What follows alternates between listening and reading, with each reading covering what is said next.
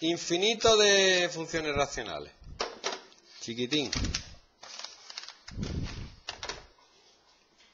Vamos a ver. Esto te lo puedo explicar de muchas maneras, pero yo te voy a explicar de mi manera, que es la buena. A ver, tú tienes aquí polinomios y m y n son los monomios de mayor grado. Los demás es que me dan igual, como si no estuvieran. ¿Vale? Si m es mayor que n, el numerador va a crecer más rápido que el denominador.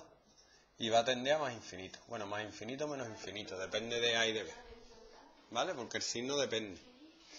Si m es igual que n, los dos van a crecer igual. Entonces va a depender de lo que valgan a y b. El límite va a ser a partir de b. Y si n es mayor que m, el numerador, digo, el denominador va a crecer más rápido y va a tender a cero. Entonces, para hacer un límite como este, x cuadrado menos 3x más 5 partido 2x menos 3. Yo esto me olvido y digo x cuadrado 2x, este es mayor que este el exponente, más infinito. ¡Hala! ¡Haz huí! yo a comer la cabeza ahora. ¿Está enterando de algo, no? Límite cuando x tiende a más infinito de 2x menos 4 partido x cuadrado menos 3x más 5. Esto hasta los niños chicos saben que es cero. Límite cuando x tiende a más infinito de 3x cuadrado menos 2x más 5 partido 1 menos x cuadrado. Menos 3, del tirón. No le tengo que dar más vueltas. 3 partido menos 1, menos 3. Ahora te pueden poner mala leche, te pueden con raíces, porque hay gente que tiene muy mala leche. Gente que, que se levanta mal o que no tiene relaciones sexuales y eso. Entonces, pues claro.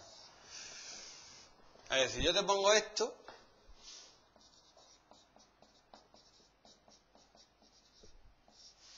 ¿Tú cuál dice que es el límite?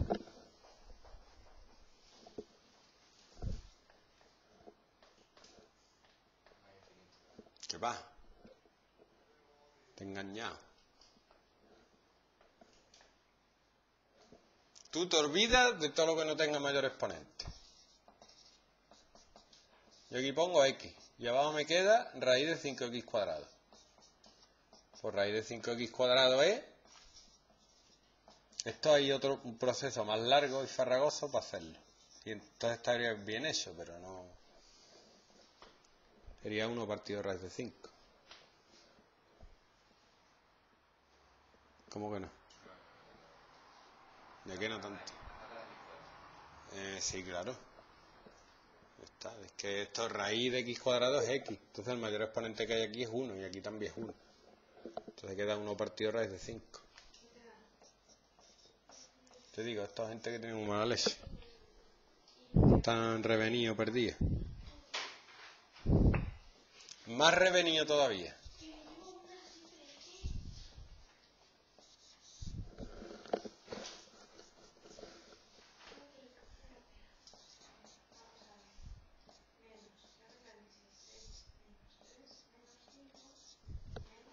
Lo que yo te diga, le quita de aquí